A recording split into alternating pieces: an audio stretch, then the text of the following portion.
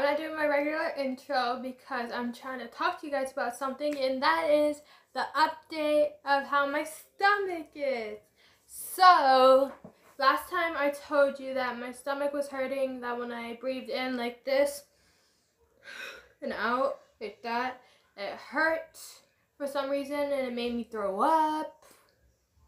And I don't really know why that happened, but it just did. It was like really weird and it had been for like a couple of days. That's why I couldn't go to school. I want another one of these Reese's peanut butter cups, but with Reese's pieces inside. So yeah, I didn't go to the school for like um Thursday, Friday, I believe Monday. But I'm not really sure. It's either two or three days I didn't go to school because I woke up on Thursday. My stomach just started hurting when I sat down on the toilet, which was really, really weird. And then my mom said, You don't have to go. I'm like, Okay. Then I got better in like the afternoon. Mm, it's so good. Then the same thing happened the next morning, which was Friday. I shouldn't be talking with my mouth full. I woke up, I went to the bathroom. My stomach started hurting. I went to brush my teeth. It was all over my mouth. and I was brushing my teeth, and then brushing my teeth made me want to throw up, and I kept going, huh, huh, two, spitting, and then went, huh, two, spitting again.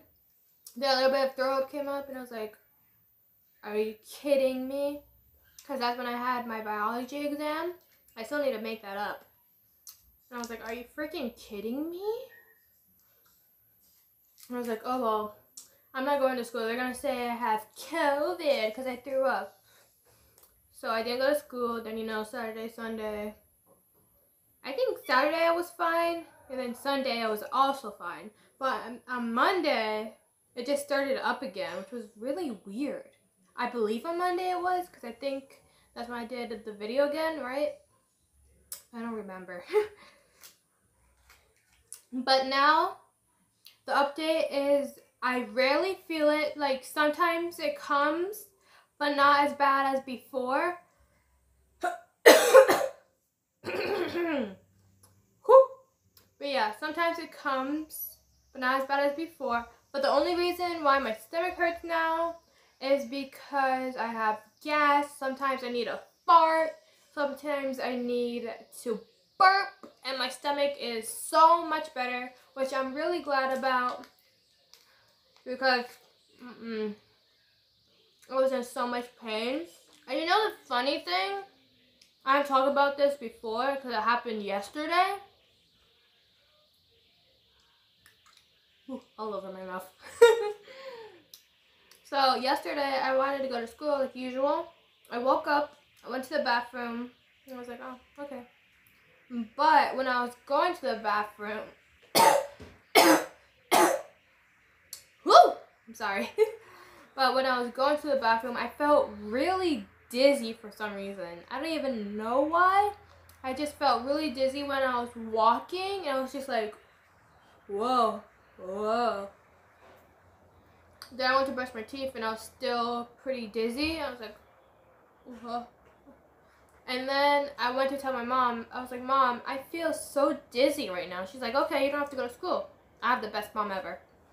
And I was like, okay, I want to. And it's like, no, you're dizzy, so you don't have to go. And I was like, okay, whatever you say. And I went back to lay down. And when I laid down and closed my eyes, the room felt like it was spinning. And I was just like, what the hell is wrong? Why am I dizzy all of a sudden? It was so weird. But the update on my stomach is it doesn't hurt unless I have gas, like I have to burp or fart, one of those, and it goes away. So that's really good, and I'm really glad about that.